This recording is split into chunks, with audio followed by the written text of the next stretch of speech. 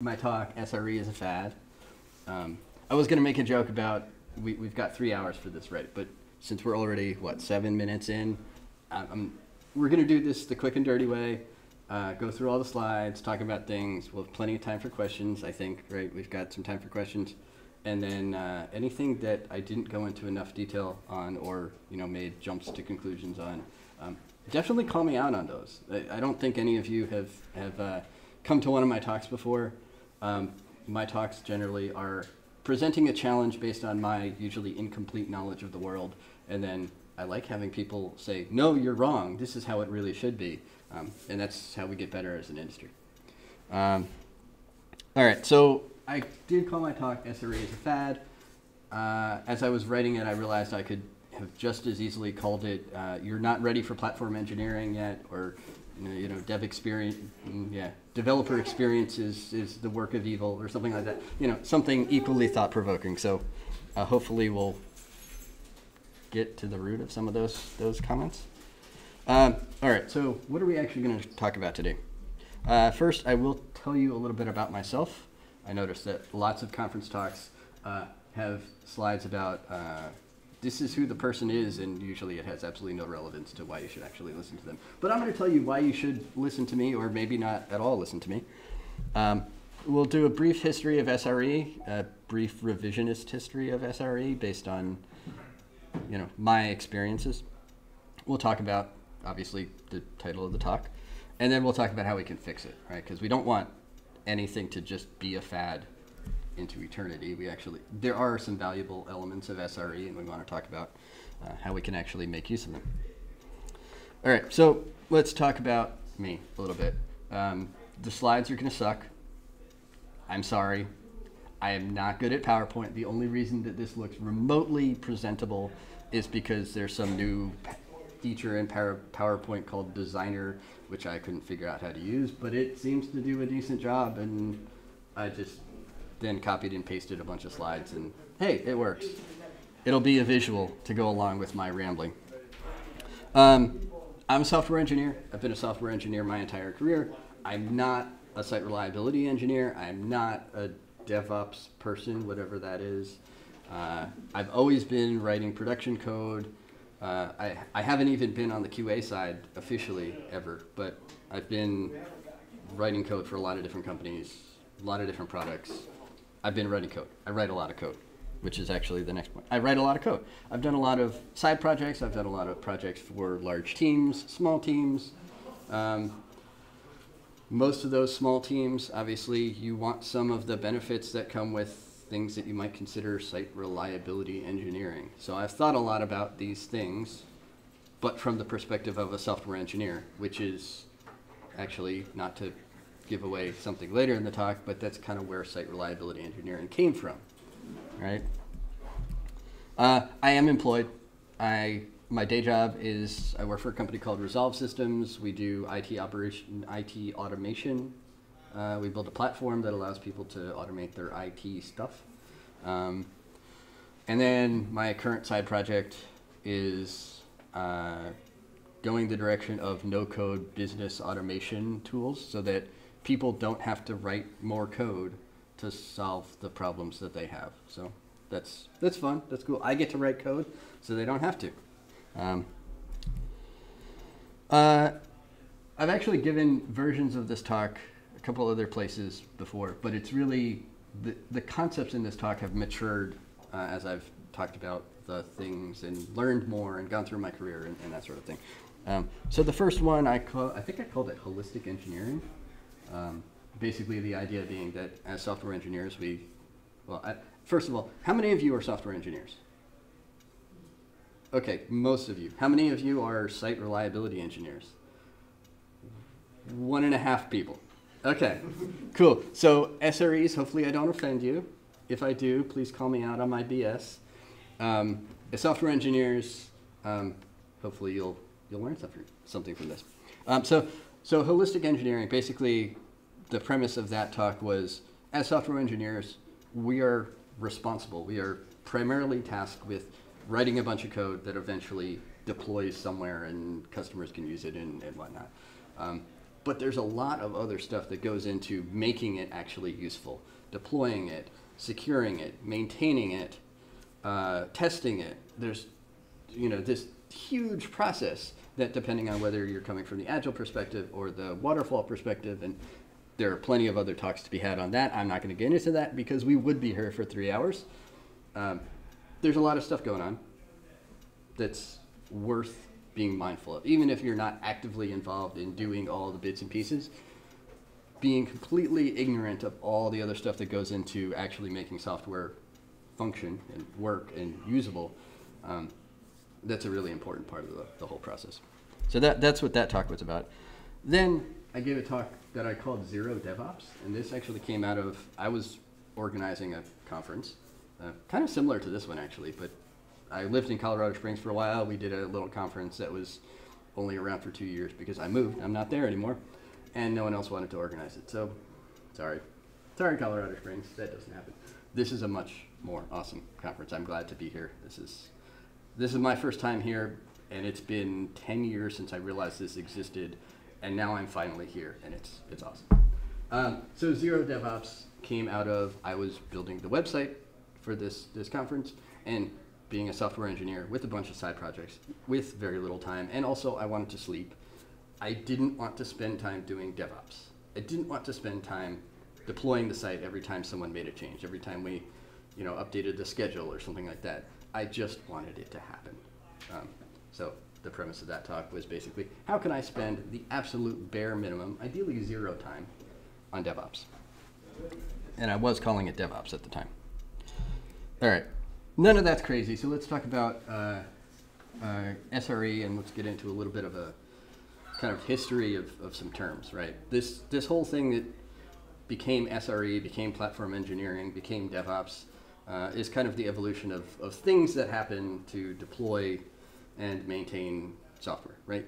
Deploying and maintaining software has been around since, well, software, right?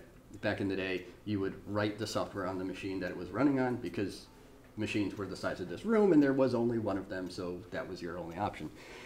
Um, but as we got to like you know laptops and that sort of thing, it became really easy to have separate development environments and, and production environments and that sort of thing. And you needed a process to get from one place to the other, and that's kind of where where DevOps came from, right? Initially, it was software engineers who were responsible for their basically their own DevOps. And then as it became more and more specialized, uh, now we have uh, actual uh, DevOps departments. And how am I on time? The timer on, on this is way off. Okay, I'm, I'm great on time. Okay. So don't look at the clock on my computer, just look at my watch. I'm okay. Okay, so DevOps. Have we beaten the dead horse of DevOps enough? I think let's move on to SRE. All right, so SRE is kind of an evolution of DevOps in my mind uh, where we started introducing scale, right? So DevOps applies to any company. You just need a place to deploy your code. But when you start getting into 24/7 uh, support or you know some number of nines of reliability, uh, now you start getting into well, I just used the, the word reliability, right? We have to worry about reliability. Um, so site reliability engineering really came from Google uh, they kind of defined the term. Uh, and actually, if you read the, the, the, Google SRE book that everybody refers to, um, they talk about they accomplished IT operations or uh, software reliability as a concept from the perspective of what would software engineers do? Because that's what they were. They were all software engineers. So it wasn't how do we approach this like a, an IT operations department would, would approach it. It's how would software engineers approach it? Um, so that's what they did. Uh, and they kind of defined this whole discipline um, that's obviously more than just deployment, but also making sure that, that things stay up and, and around and, and that sort of thing. Uh, and now we, we have this term called platform engineering. And I feel like, well, DevOps, I've seen many, many companies define it way differently. I've seen companies call DevOps things that weren't even remotely DevOps. Like if they they talk to another company and said, "Here's how we do DevOps," they would be like, "That's not DevOps. That's bug fixing." No joke, right? This is this is how we address technical debt. Oh, that's what we do for our DevOps. No, it's not. That's not DevOps. DevOps is something totally different. Anyway, SRE, I've seen people call SRE multiple different things.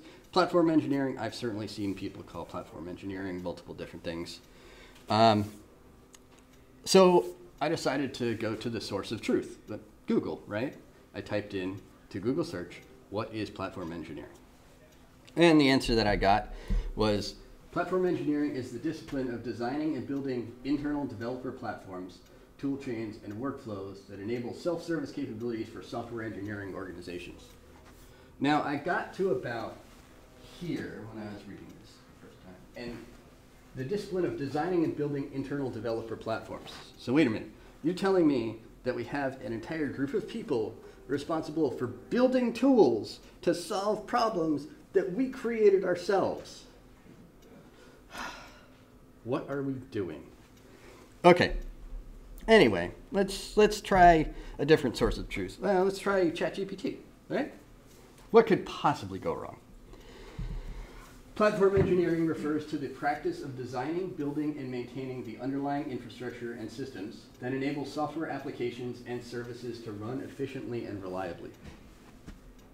I'm actually okay with that definition. That's not terrible. Um, and the reason I'm okay with that is it, it doesn't uh, call out specifically, hey, we're building a bunch of extra tools that are that kind of live in your own little world. Um, it actually suggests potentially some collaboration, and I really like that. Uh, collaboration, knowledge sharing, breaking down silos. Um, but it does sound a lot like SRE. So what's what's going on? Um, in my mind, uh, SREs is kind of. I'm actually going to read from my notes here because I want to make sure I get it right. A set of goals for how the software and its infrastructure should be monitored and operated, and platform engineering further formalizes that into an approach, uh, building a platform that's custom tailored to the type of uh, type of software components that software engineers are writing. Um, so, if you want to tie it to kind of a concrete example, uh, I think of DevOps like the Docker image, right? This is how we deploy software. SRE might be the Kubernetes cluster, how we actually get it out in, into production, monitor it, and tie it in with other components, that sort of thing. That's cool. And then platform engineering would be like the set of scripts that that software engineers would use so they don't have to think about Kubernetes. Um, now, you might say, you know, I don't know what Kubernetes is, and I, I like it that way. Well, I do too. I can't. I don't understand Kubernetes. I have tried countless times, and I still don't understand how Kubernetes is supposed to work and how it's supposed to solve my, my problems. But that doesn't mean I don't want to know, right? I, I want to know how my software is getting deployed. I want to know how it ties in with the other services that it, that it works with. Even if I can't wrap my head around the actual commands to run to get a Kubernetes thing to work and why I need 15,000 YAML files just for one stinking service, I still want to be aware of, of how that's all going to work and work with the people who do, right? I, I want to break down those silos. Um, yeah, which is really kind of the heart of this talk. Um, in an effort to break down silos, we just end up creating more, right? The whole premise of DevOps and the whole premise of SRE and the whole premise of platform engineering was there are additional complexities that are introduced by things like, hey, our dev environment and our deployment environment are two separate environments. Uh, we need to scale. Um, we're using more and more complex tools in order to do that, and, and there's kind of a knowledge gap. Well, that's fine, but the way to get past that is not to further create silos, right? We don't create another department that their sole responsibility is these things. We want, we want, to spread that knowledge so that we don't get into trouble, right? Okay, so specific shortfalls. I'm just going to go through that. Just expand that slide. Um, it's education, tooling, and incentives, right? Uh, education. There's just a knowledge gap between software engineers and the, all the other disciplines, right? I, it's frustrating how many software engineers I've run into who haven't had some form of uh, secure applications or secure training, secure development training or something like that. Even, you know, how many of you have heard of uh, OWASP? Okay, good. That's fantastic. Um, that was, the camera can't see it, but most people raise their hand, right? Uh, if you haven't heard of OWASP, O W A S P, go look it up. Your future selves will thank you. Um, but those sorts of things, like simple things that uh, should just kind of be part of software development, software engineering culture, software engineering mindset. Because security, which is what that's all about, is really hard to build in after the fact. If you approach software engineering from a secure perspective, it's a lot easier to write secure code than if you write code and then try to make it secure later on. And that's just one example. Uh, tooling, obviously, I feel like every, that was not a sentence. Not obviously, but I feel like every day there's a new tool that appears on the scene that is supposed to be the silver bullet to make software engineering work absolutely fabulously. That's not the case, but some percentage of companies, some percentage of software engineers are going to start using those tools, uh, and there's just no way to keep pace with that, right? And then incentives. Um, how many of you spend an actual measurable amount of time fixing technical debt? That's not how that question was supposed to go. That's two thirds of the audience. Um, that's fantastic. Um, typically, especially now, right, with the economic crunch, um, it's really hard to justify things that aren't directly delivering value to customers. Things that aren't going to directly make money for the company, it's kind of hard to justify. And depending on, you know, the, the people who aren't software engineers and, and typically can't be, like, you know, product managers, program managers, C levels, right? Um, if they recognize the value of technical debt, you'll work on technical debt. If they're really focused on all the other stuff, it's really hard to justify technical debt. Um, if you if you don't have that kind of advocacy, it can be it can be hard. And that's just one example. Um, right, operations is another example. Um, depending on your organization, you might have some time to uh, you know make sure the application is running as well as it could be. Uh, if you don't, you're just fixing bugs, and if it breaks, you figure out why, and you're, kind of in this ad hoc ad hoc um, situation. But that's that's a that's a struggle, right? This is this is something where uh, it really pulls away from how do we uh, bridge these knowledge gaps, break down these silos, and uh, get to a place where SRE isn't someone else's responsibility. It's something that we, we have as part of our, our culture. All right, so why is SRE a fad? I, I pretty much already said it. Um, we keep creating these silos. Um, yeah. Just making sure I didn't already say everything that's in my notes. And yeah, that's, I did. So cool, we're ahead of schedule. All right, so what's the solution? Uh, it's basically just changing the culture. Just minor details. Change the entire culture at your company. No big deal. It, it'll be easy. You can do it tomorrow. Right? Today's Sunday, tomorrow's Monday? Yeah. By the end of tomorrow, the culture at your companies will be completely changed. You won't need an SRE department anymore. Uh, I'm kidding. This is, this is going to take a while. Um, but it really is that foundational. It is a cultural mindset. Uh, so even if you have a DevOps department, even if you have an SRE department, even if you have a platform engineering team department, whatever, um, that doesn't mean that you can't break down these silos because it's all about the silo. It's all about the knowledge gap and that sort of thing. Um, so, and I'd say start with the beginning. Start with DevOps and learn how your software is being deployed, uh, and learn all the implications that that process has for uh, the code that you're writing. You know, make sure you don't get the the whole process into trouble and, and cause other issues there. And then once you have that as part of your, your culture, start moving into the SRE uh, area. So, uh, how do we make sure that that the software stays running? Uh, how do we fix things when the software goes down? When the, you know, know, service explodes, large, big, bad errors, that sort of thing. Um, how, how do we how do we get past it? And then from there, you could get into platform engineering. But in my idea of my vision of this, it wouldn't be a platform engineering team that's writing all these scripts to enable software engineers. It would be software engineers writing scripts to enable their future selves or to enable their peers, right? If a software engineer builds a feature and there's a script that goes with it that helps it along, that, that allows other people to make use of it later on, configure it on their dev machines, whatever, write that script, write that documentation, write that Docker image of database configuration, whatever it is. Um, you know, don't don't force that onto some other team that inevitably doesn't have all the knowledge that you have because you built the feature. All right, and that's apparently there were bullet points that went along with that. See, I'm not good at PowerPoint. I'm, but give me a topic to talk about. I'll talk about it for way longer than we have. All right. Specific tactics. Uh, this slide should look familiar. It's the same three things I called out earlier, education, tooling, and, come on, incentive. Right? So fix those knowledge gaps. Cross-train each other.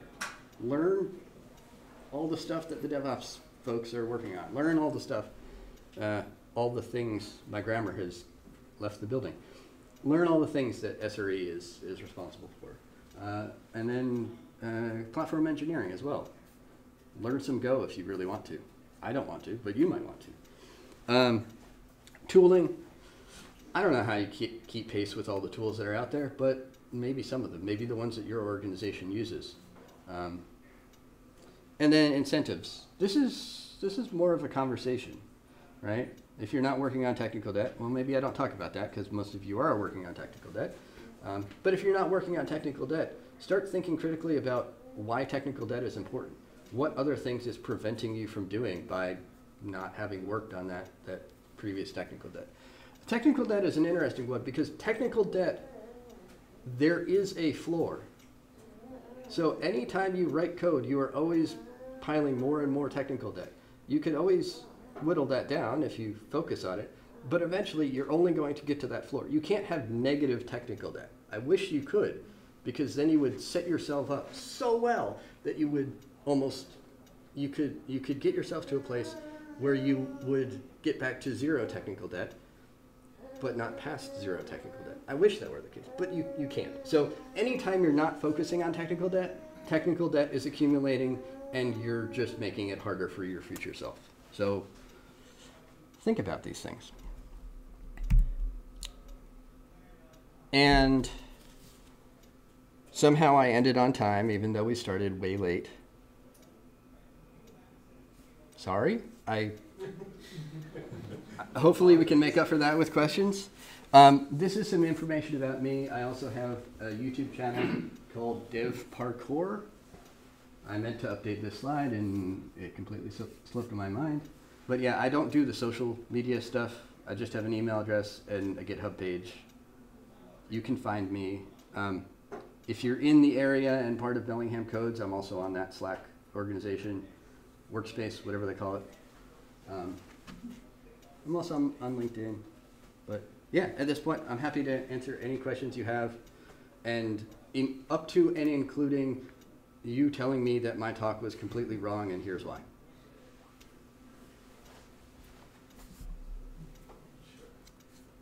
I'm afraid I'm going to turn this into a rambling question, so I'll try really hard to focus it. um, I, my, the root question I'm going to ask is about team composition. So sure, not de not de-siloing, but I'm also curious about whether you still see room for specialization within a group. So a common meme that we see right now is you know, somebody is looking to hire an entry-level software engineer and, um, you know, entry level, but they're expected to have experience in Azure Cloud and experience uh, in four different programming languages. So, you know, it's really hard for someone who's new to come on board a team and know the full stack that can handle, you know, like you're showing up here, like platform engineering, software engineering. And so I'm wondering if you do see room for specialization on a team, or if you really do see a need for when people get on a team and you know they're not de-siloed or they're not siloed, that everyone should build up that same knowledge base entirely. So let me ask a question first. how many of you started your career as a junior engineer? Uh, I mean, everybody started somewhere. There was a point in time when you didn't know anything about what you were doing, right? And in some ways, that's the most important thing to know that you don't know. Uh, and not just like, oh, I don't know what I'm doing. I have absolutely no idea. You know, as a senior engineer, if you're there yet, you know what I'm talking about. If you aren't there yet, don't worry, you'll find out.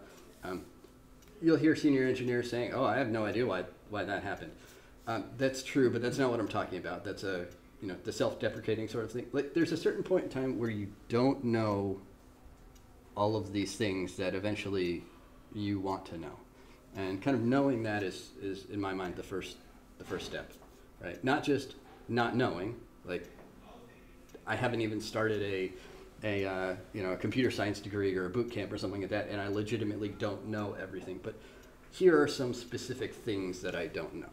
So to specifically answer your question, yes, we can't expect everyone to know all the things that go into a, a particular piece of software. And there's naturally going to be some specialization within a team um, where someone, let's say, perhaps wrote that piece of functionality so they just know it better than anyone else.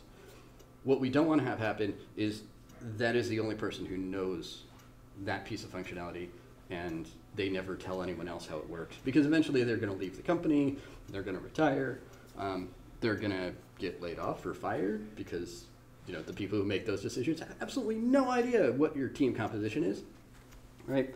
And you don't want to be left in a situation where the people who now have to maintain the thing have absolutely no, like legitimately have absolutely no idea what's what's going on in, in that area. Um, so yes, you should definitely construct your team with a diverse set of backgrounds, and at some level there should be some level of spe- uh, specialization because you don't want you don't want everyone to just be mediocre at everything. That's Yeah, Mm. that's, I think, a good way to Right. put it, yeah. In the things that matter, and that's going to be different for every every team. You do want a specialist in that area, but by the time you're done, whatever that means, everybody should have at least a mediocre or passing knowledge of all the things that go into the, the projects that you're working on. Uh, there was a question in the back. Um, yeah, I'm, I'm, I'm, I'm not quite sure how to put this without rambling. like, going with it. That's okay. I'll answer it with rambling too.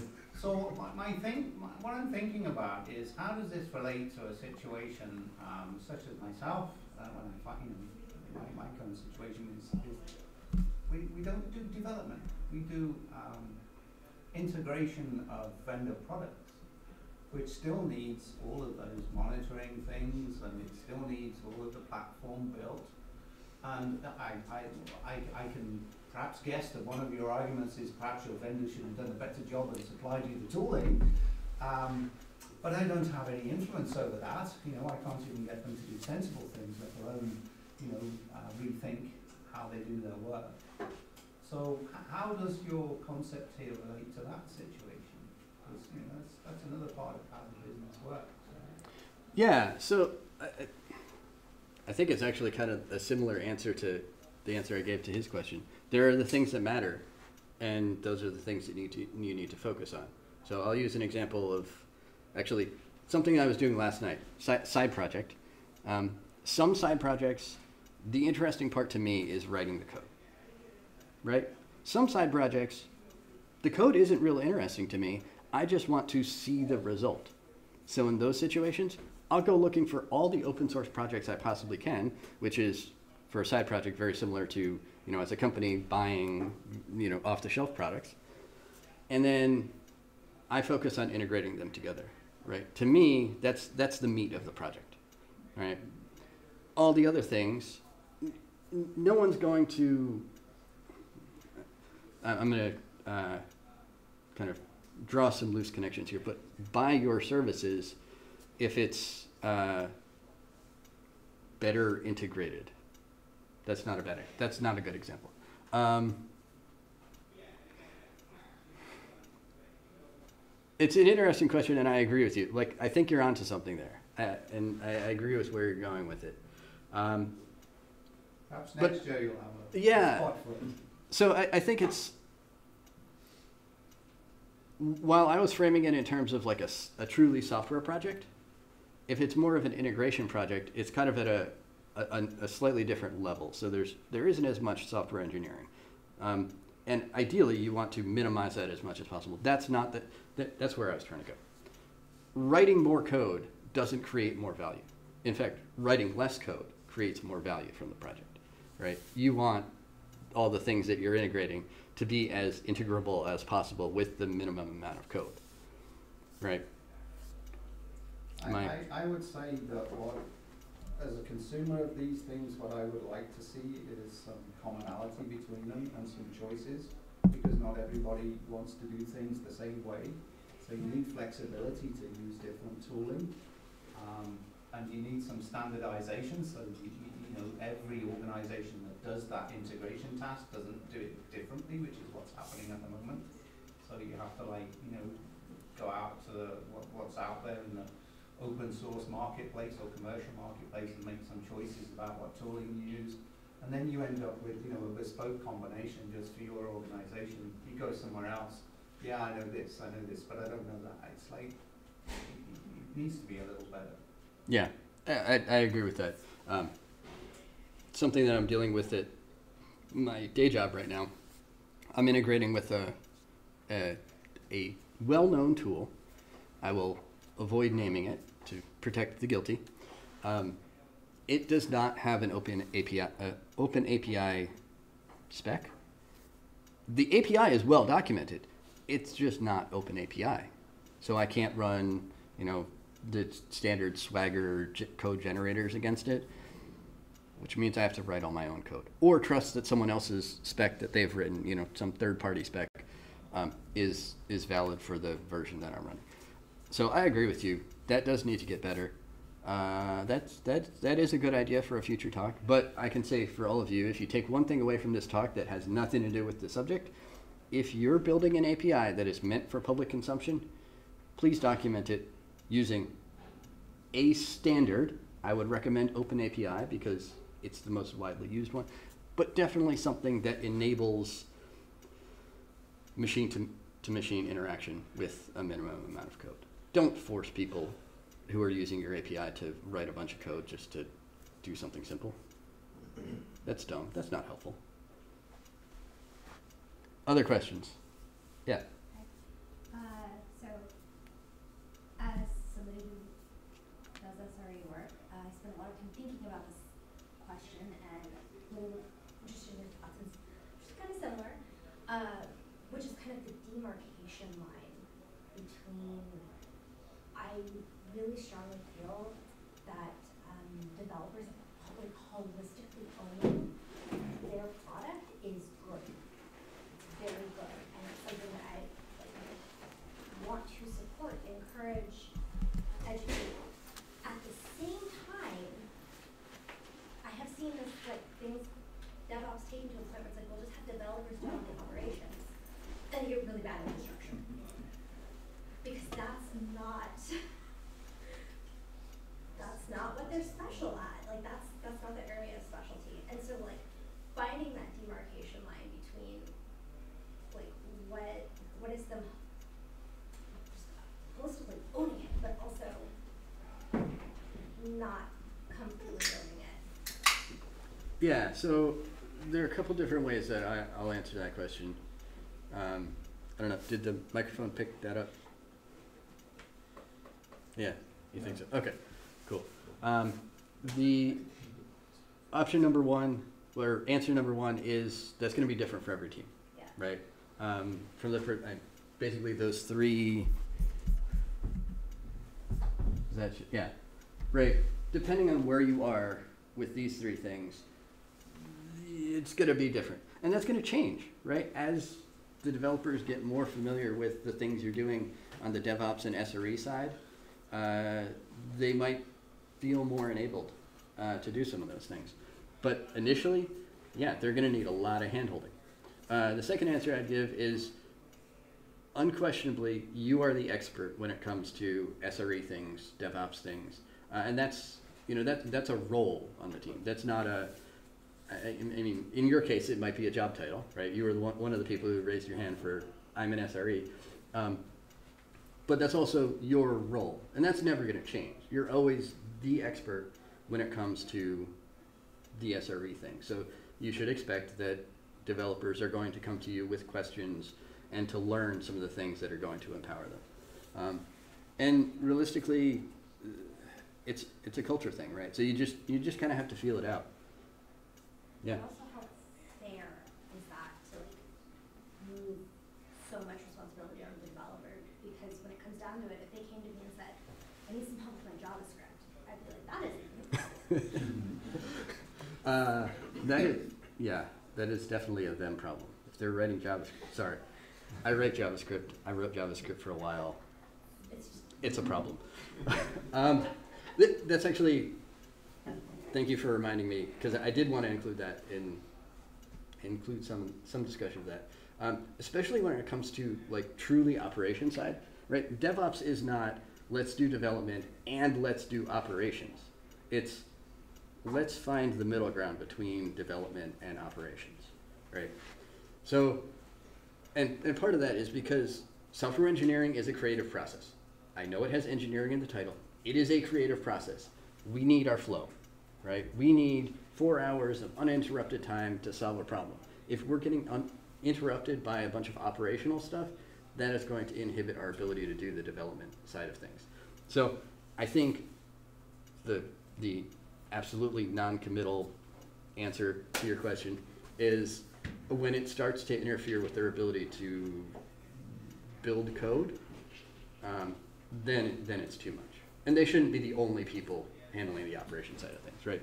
There's a there's a reason we still have IT departments, even in large software companies. Developers are not like I don't know how to maintain this, how to work this thing anymore. That's why there were four of us uh, figuring out why it couldn't connect to the, the projector this morning. I don't know anymore. There was a time when I knew how to figure out how, how to connect my machine to a projector. Now, other people are experts, and I'm happy to let them be experts on that. Yeah. Isn't operations coding and development these days? It should be. It, it is where I am and we're Yeah. not exactly leading edge. So uh, that was actually another contender for title for this talk. Everything is code. All the things are code. Um, yes, I, I'm I'm a firm believer that all of these things should be code for some definition of code. Even if you're using like a no code, low code platform, like that's still code. Um, the reason is that it's documented, it's uh, reliable, it's repeatable, right? Documentation is not repeatable, repeatable because it requires a human to interpret the documentation and then do something else. They could easily misinterpret, they could easily um, do something different from what's what's written in the documentation.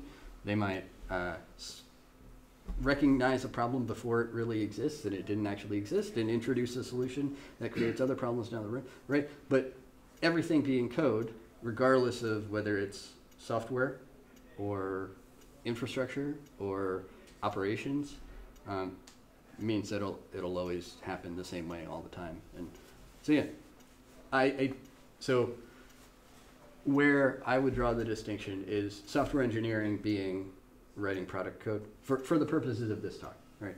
Software engineering being writing product code, and then SRE, you might still be writing code, but it's a different kind of code. And QA falls into that too, right? Most QA departments these days write code. That doesn't make them not software engineers, but it also doesn't make them software engineers in the same way that uh, other software engineers are software engineers. I'm not saying that all software engineers are equal, but some software engineers are more equal than others. That's not what I'm saying. Um, but there's, you know, different.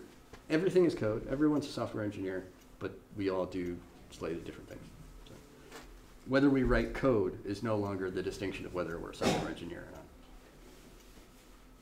Yeah. Um, we're gonna need to wrap up pretty soon. Oh, okay. I rambled for an hour. Awesome. Any other questions?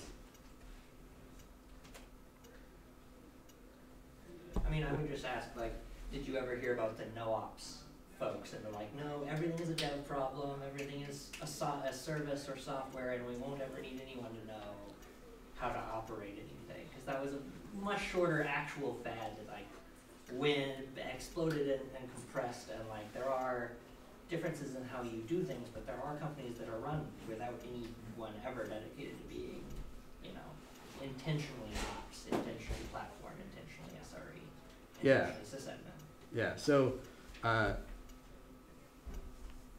yes, the words no, never, always, those are dangerous and probably wrong. Um, there's always going to be an exception. Uh, no ops as a idea, philosophy, mm, might be kind of cool. It might be a good uh, challenge, thought experiment, right? How much can we do without having a traditional ops department? But at a certain point in time, you're going to encounter situations that require someone to take on the ops mantle, right? Same same thing as your question, right? If you get big enough, you just can't have your software engineering teams do all the operations because it's going to interrupt them from doing things that aren't operations, right? And it's a balance, question of scale, yeah, that sort of thing. Cool? We all feel good about that? All right. Thank you all.